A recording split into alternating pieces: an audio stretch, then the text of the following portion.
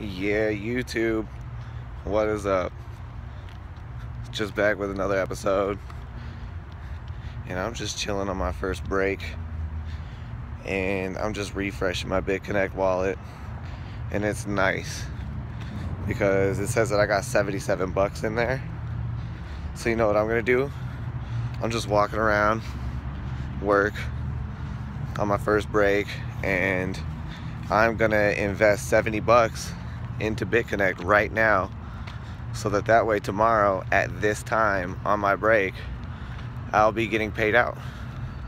And also tomorrow at this time on my break I will be able to reinvest that. So that's amazing. And I'm gonna start doing this every day and it's gonna start being like a little bit of a routine that while I'm at work while I'm on break I will be making compound interest and passive income. So um, yesterday. Um, I didn't have a video because I tried to invest from my lending wallet. I transferred my dollars from my lending wallet to my BitConnect wallet and then I realized that I can only invest a minimum of $100 if I'm going from BitConnect.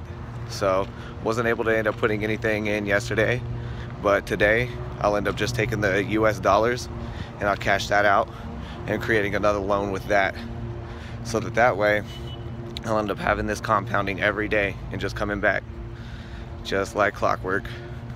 So that's all that I got. I'll see you guys in another one. Peace